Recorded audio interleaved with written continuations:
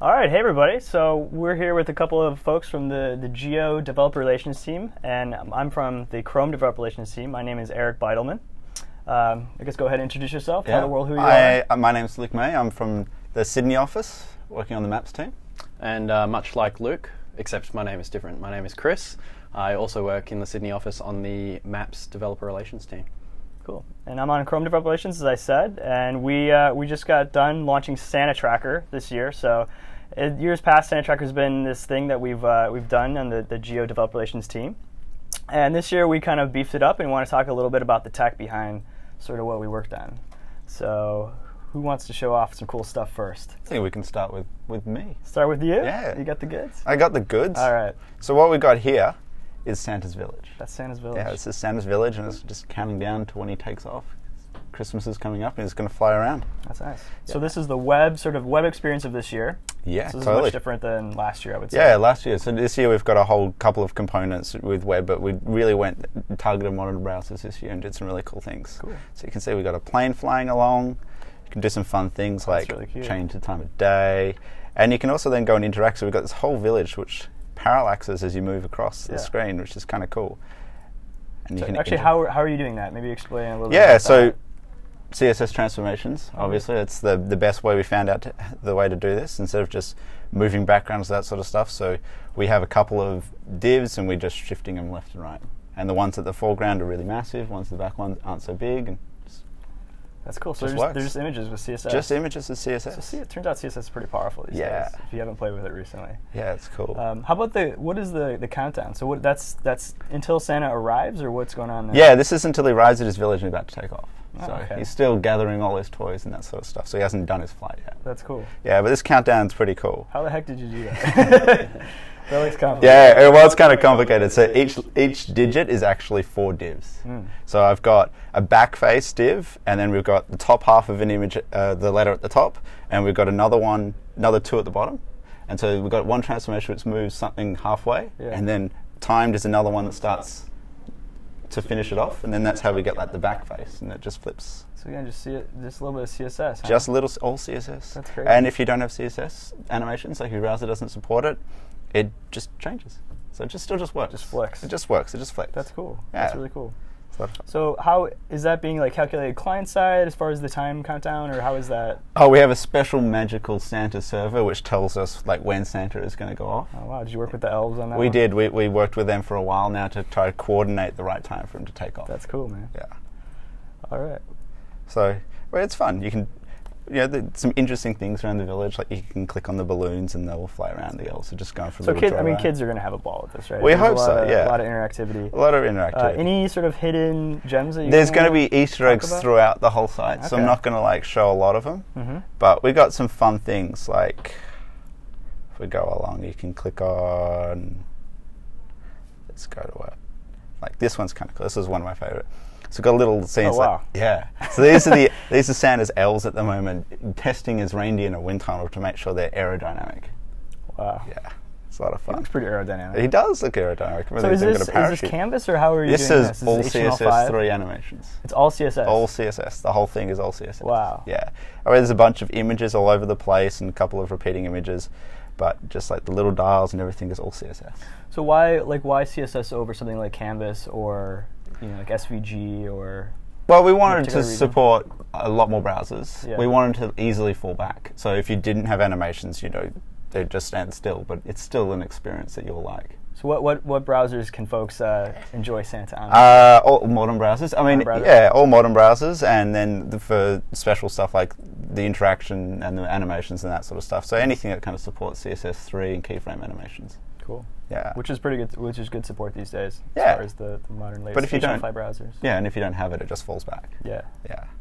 But then we uh, let's find some other fun things. So there's this whole village where you can explore some really cool things. But So this is very much more of an interactive experience than, than last year. Like last year, I think you uh, right, you get to track Yeah. Santa, know where he is, and, and sort of see see him as he flies through. But this is much more of like interacting, playing with like some Yeah. games, which is really cool. I'd say it's I'd say it's much more playful. Uh, last year was more of a Google Earth experience where you sort of track uh, Santa in a sort of realistic way, where this is, I think it's more jovial. Yeah, It's yeah. a bit more fun before Santa takes off, so you can explore the village. And The, yeah. the, the, yeah, the games and the Easter eggs are amazing. Speaking of games, Oh, you got one. we've got a game Oh, here. it's we've got some sound.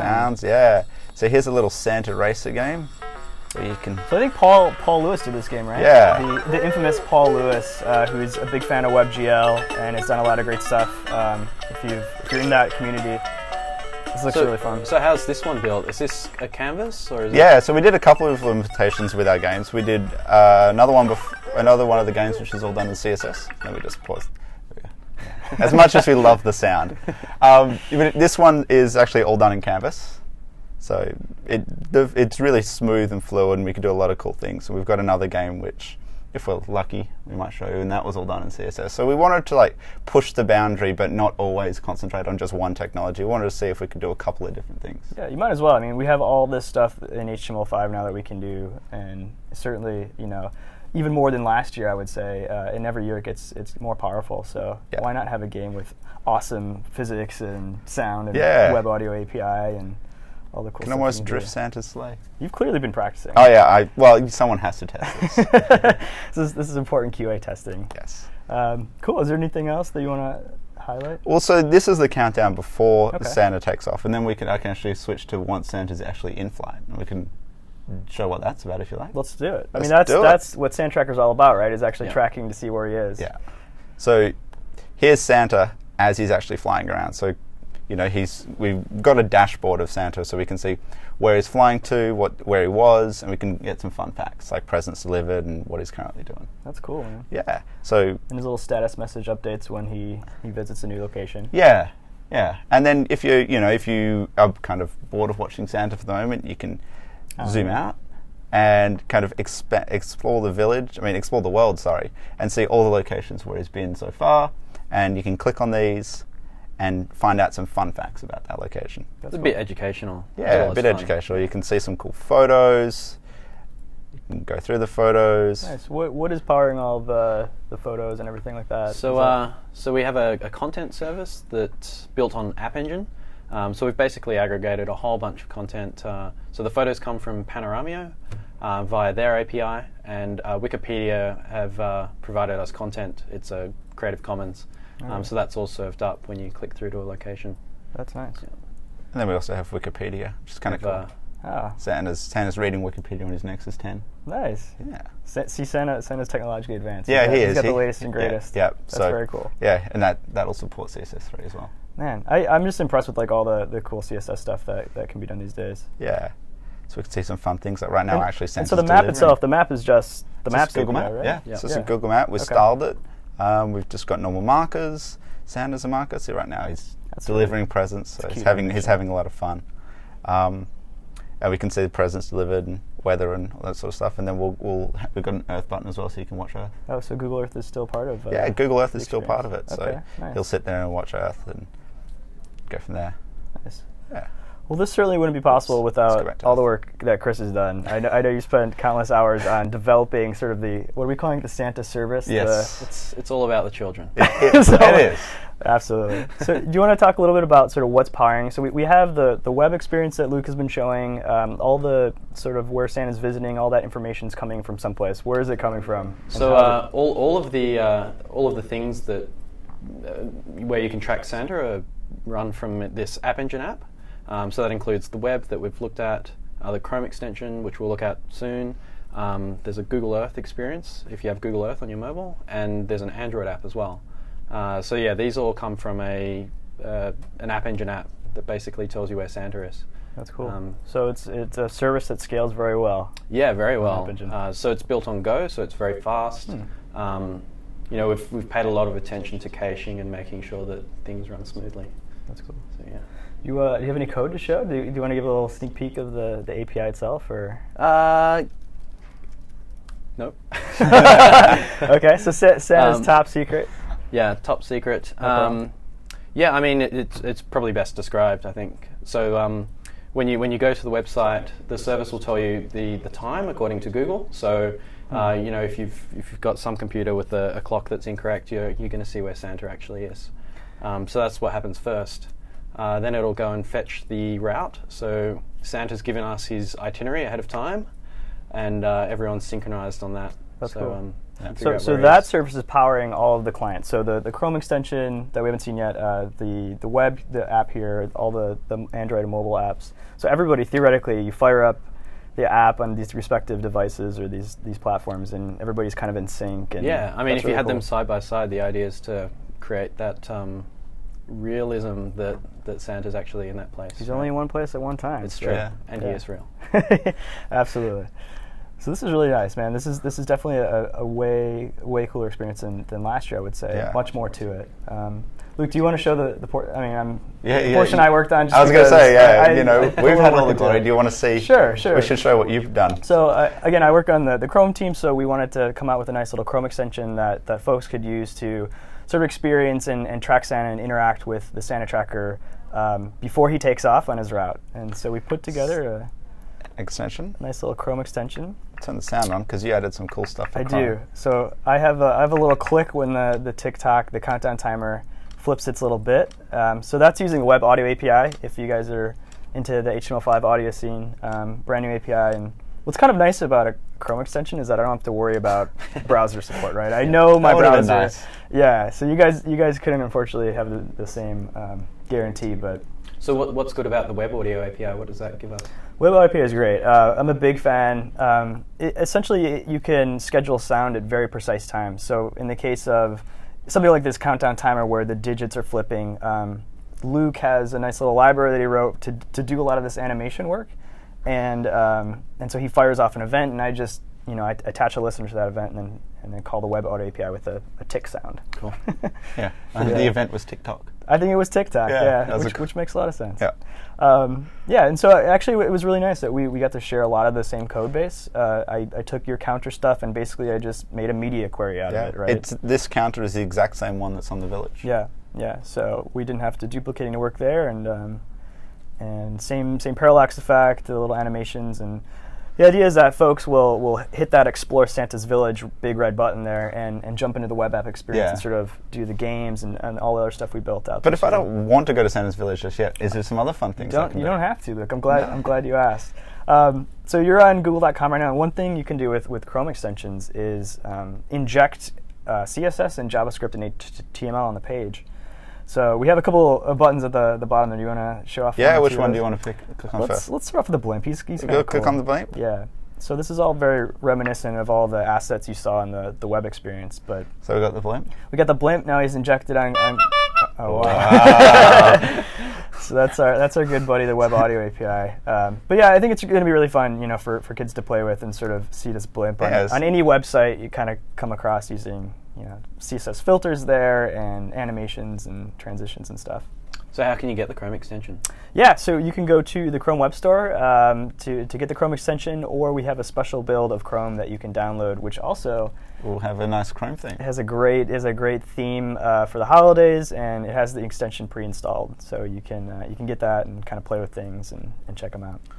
What else have we got here? Because I, Yeah, I know that you did some other cool things. Show the uh, the snowflake is really cool. Snowflake is really that's, fun. That's one of my favorites. So, if you, if you have a look here, oh, that's that's very That's festive. very cute. That's very festive. So yeah, this is this is actually using Canvas, which is kind of no, I'll turn the sound off. As much as we love that. as, as festive as it is. Um, this is using Canvas and um, essentially using some of the properties with alpha, alpha transparency in Canvas. So if you want, So you what- can what- actually yeah, what can I do you with can, this? You can draw. It's, can it's draw a with it? palette. So So, why don't you write the folks a, a message? There So you it's sort go. of like you're painting on a window, right? Yeah, yeah. And uh, so there's a there's an alpha transparency property you can set in Canvas, and then Ah. it just basically bleeds through. So the whole screen has been filled up with Canvas. I've injected a Canvas on the page, and now we're. And then we can So I know how to paint things in Canvas. How do I how do I do the erasure? How did you do that? The erasure.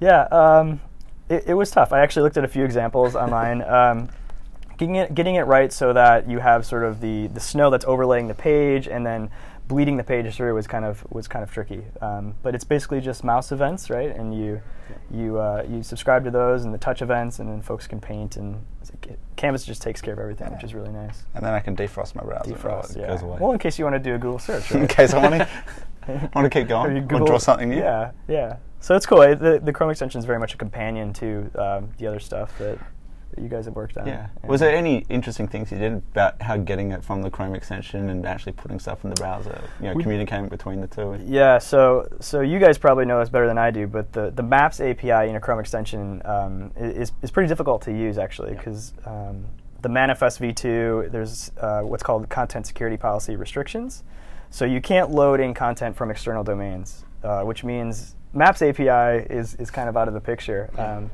but we had to do some interesting things with, with a sandbox iframe of the of the map, and then kind of communicate with the Maps API um, to update Santa's position and whatnot on the map, and, and sort of um, do post message and use iframe communication. Cool. So it was a little bit trickier than it really you know needs to be if you're building a web app, but ultimately like um, the CSP restrictions are there to to keep users safe and secure. Cool. Any other details on the Chrome extension? Uh, what, what else are we using? Um, request animation frames. We could again, like since it's a Chrome extension, we can take advantage of some of the latest features for animation. And request animation frame is a, is a great. way Yeah, to and that's exactly how we're doing the parallax as well, where Yeah. we're, we're doing the movement, you know, we're doing transformations, but we're doing it in a request animation frame. That's cool. Yeah. Yeah, and, and again, the um, we're using Sass. So for our CSS, I think we're Yeah. We all chose that route just because it's a lot easier to maintain. And that way we Yeah. can have lots of individual files so that you're just using the countdown Sass file that I was using as well. Right. So, you know, we're, we're not really good. Uh, duplicating. It helps with the cross-browser, Absolutely. you know, vendor prefixes, Yep. things like that. Yeah. Yeah. And I think like you guys define variables, and I like you know I imported them into my style sheets, and then You just get it, them. It just it came for free. very Yeah. useful. So So when you're working in a big team that's kind of doing independent things but sharing a lot of stuff, it's a nice way to do it. yeah. So we're also sharing a lot of JavaScript and Yeah. HTML Yeah. as well, right? Yep. So- And we're doing the standard Google stuff. All that all that code is compiled with Closure, um, so all minifi- minified and We get a lot of hits, so we got to reduce the Yeah. uh, reduce the bandwidth. Yeah. Keep things. So a lot of people are interested in, in where Santa is uh, is going. Yeah, but one fun fact we found, like when we were building this on a high DPI laptop, the performance when we first did it was really quite poor. Um, and then what we did is once we replaced every image with a high DPI version, the performance like improved dramatically. Yeah. And it was because the browser didn't have to spend time scaling up the image for the right right size, that the performance was just magically different. Yeah. So that was actually something I, I hadn't worked on a big project yet that required us to think about high definition, you know, retina displays, but these are prevalent now, and so we had to have, you know, 2x images all over the place and make sure that it looks good on the on the folks that are having the high displays. Yeah. So, do you guys want to talk a bit about mobile performance? Because I know that's that's you know they have their limitations and they're a lot slower. Yeah, than Absolutely. Well, the good thing about that as well is because we got we could then because we're doing high DPI images for this, we could just give them to the mobile guys as Yeah. well. So for the native app, because they could then also render, use those for high DPI images. Yeah. That's cool. So, are there any other performance tricks? Any? Uh, Well, there was a nifty one I with the, with the game. Yep. So uh, with mo- with especially to make the game work well on uh, a mobile device.